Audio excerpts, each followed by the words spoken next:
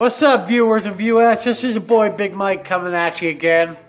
Now, tonight on my random shit videos, I'm gonna rant about a few things. And um, if you've ever had anything like this happen to you, please comment below and let me know about it because I've never experienced this shit before. And this is why Ohio sucks. Okay? I've been living in Ohio for about 12 or 13 years. And it's been both very good luck as well as very bad luck for me. And I and I'll get to the bad luck first. Now, I'm complaining because, you know, it's pissing me off. Some people might think it's stupid, but whatever. Over the last couple days, I've been looking for um, some supplies to do another batch of these masks. Okay? These little red chevrons on some of these masks. These are painted on. But I'm going to try another technique that somebody else suggested and use red masking tape. I've been to three stores over the last couple days. Two of them are hardware stores. Nobody had fucking red masking tape. Okay? They had red duct tape, red electrical tape, red this tape, red that tape. No red fucking masking tape. Okay? and uh, that's not that's not just one and only experience. That shit happens all the time. If I need a list of certain things, that you know they shouldn't even be, um, or they aren't, you know, moon rocks. They aren't like bricks of gold, whatever, rocket fuel. They aren't things that are going to be hard to come by. These are things that should be store ready and on the shelf when I go to look for them. Yet every time I, I go to somewhere with a list, I'm lucky if I find two things that are on that list. And I'm, I'm serious. I'm 100% serious. They could be movies, uh, art supplies, whatever. Nobody ever ever has any. And I've experienced this shit the last almost 12 years since I've lived here. Okay? Bullshit. I've never had that problem where I lived in Pennsylvania. That's where I was born and raised, down near Philly. Never had a problem. If I walked into a store with a list of items, I'd find everything but probably two items. And that's that's that's if I'm lucky or unlucky. I could probably find everything. Up here in Ohio, no. Yo. And you know, people are saying, okay, well, why don't you just shop online? That's a last resort for me. Because, first of all, I like to go to the store, buy the shit that I need, come home in an hour tops. Okay? It doesn't take that long. And with the with buying shit online, you're waiting three to five business days. You know, six to eight weeks, depending on what you're buying. I'm not waiting that long. And what I'm not doing more is paying extra money to have something shipped to my house. No. People don't think about that. They're spending extra money to have ship shipped to your house. I mean, come on now. Go get the shit. No, I've not only experienced the kind of shit myself, my dad has too. Not to the degree as I have, but for example, a couple years ago, he walks into a flooring store. And he tells the lady at the counter he's interested in getting some work done on the kitchen floor. The lady says, okay, you know, takes takes the information down, what, what he wants to get done, name, address, phone number, whatever. Nobody ever called him back. And my dad is the kind of person who if the company wants to do business with you, they will call you, you know, after you've made that initial approach. And that's happened a lot up here too. I've called different places about different things.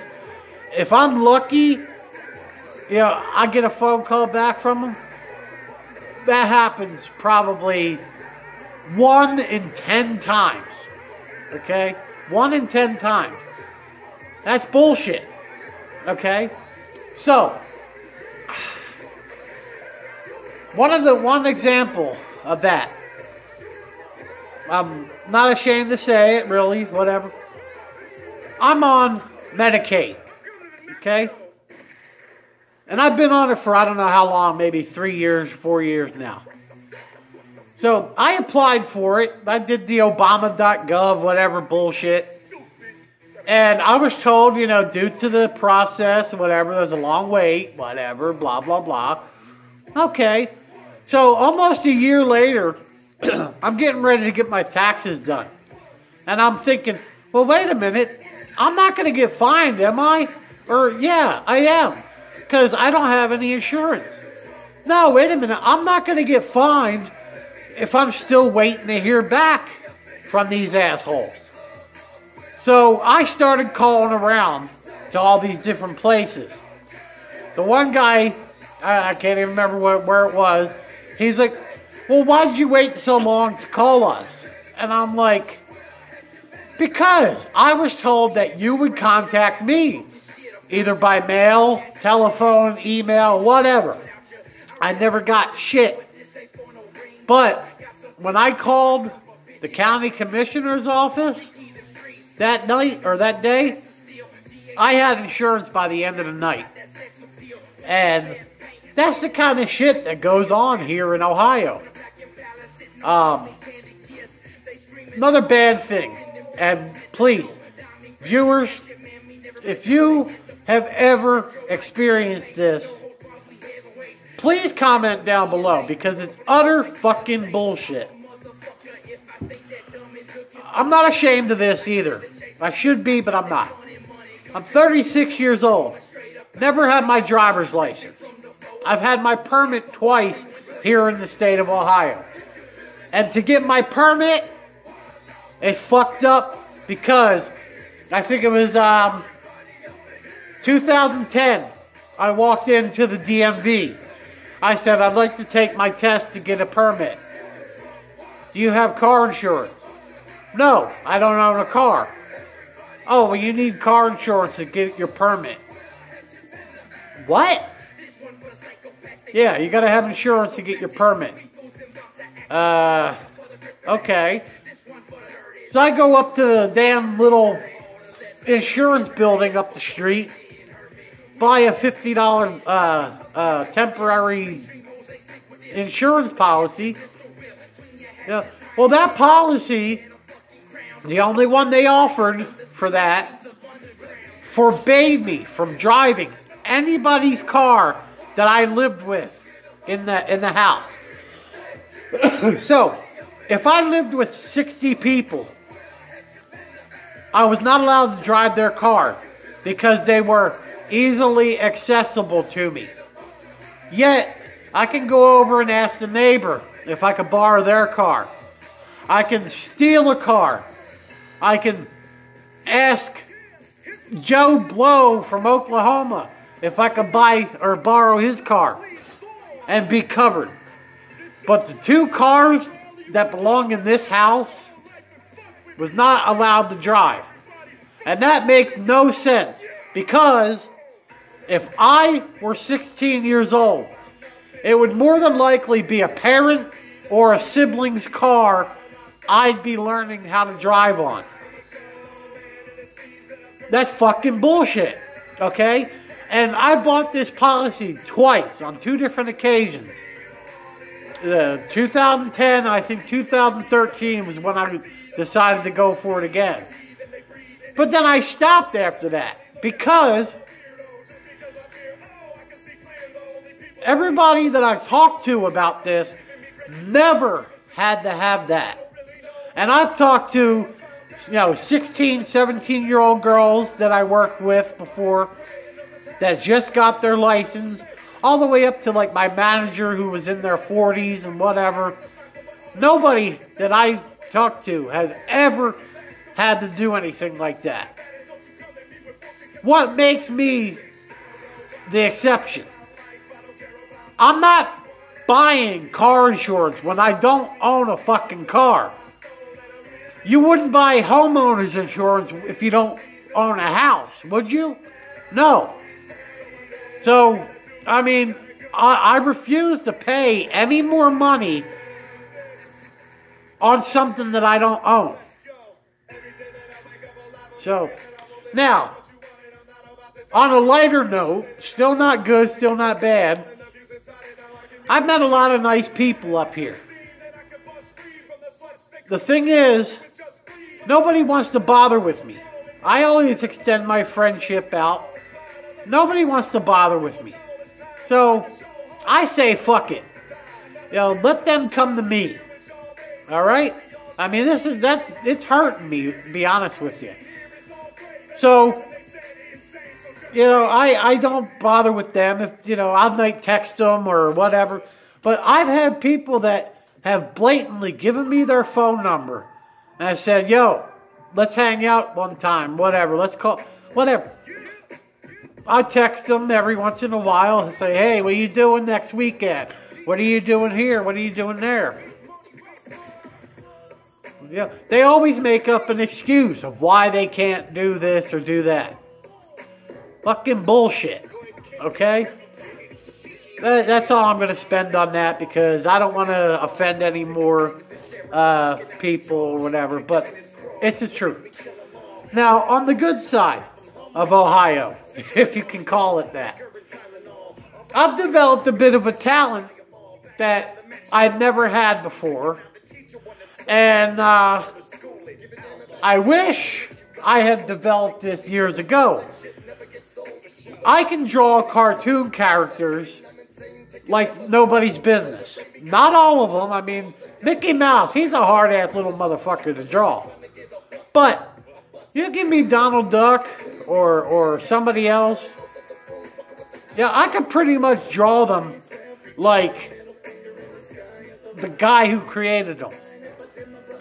And there's a good side and a bad side to that because I can look at a picture of Porky Pig and draw him for what he is. But I can't think about him and draw it. I don't know why I can't do that. I know what he looks like, but anyway, that that's a talent that I never had before, and I wish I would have discovered at an earlier age. Um, because I could be doing things with it. I could be living off of my talent now.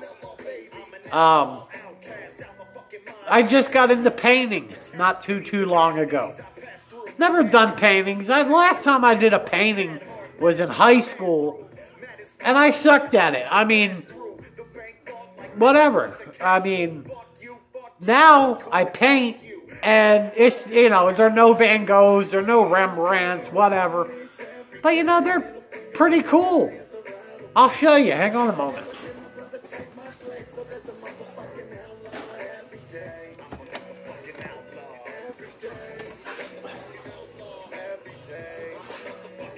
This is a cemetery landscape I did based off a photograph that I took. I don't know if it's an Amish cemetery that I took a picture of or a little private like family cemetery that's no longer in use. But if you were to look at the actual photograph of this, you, you'd have to take a double take and try to find out what's real, which one's fake. But that's my painting. I'd never done paintings up until almost a year ago. I like doing it. And I, I'm on the verge of actually having some of my paintings go into an art gallery for sale. Hey, you know, things are looking up that way, but you know, there's just shit about Ohio. It's just bad luck almost overall. But that's my rant for today. And uh, check back soon I'm not sure when. I'm, I'm trying to figure out how I want to do it. But I'm going to start a paranormal topic show um, on my channel. I don't know if I'm going to do one maybe every week or whatever, but check back and I thank you for watching.